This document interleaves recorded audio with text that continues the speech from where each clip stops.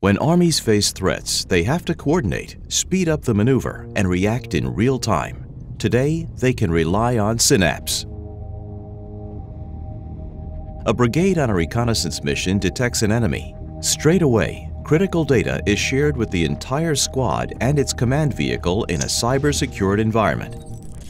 Other dismounted units receive the information, even if concealed by terrain features. SYNAPS provides extended connectivity so that soldiers can communicate with all hierarchical levels within their units and all the way up to headquarters. And it uses a common data sharing protocol to speed up coordination with NATO or other coalition forces.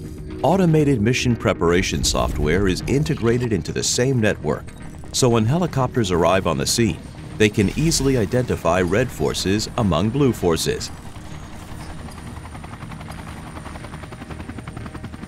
they can locate the enemy immediately and avoid friendly fire. SYNAPS helps to share tactical situation awareness and to break down silos between land forces and airborne units. SYNAPS speeds up the maneuver, cutting reaction times from minutes to just a few seconds, and gives friendly forces tactical advantage to enter the era of collaborative combat.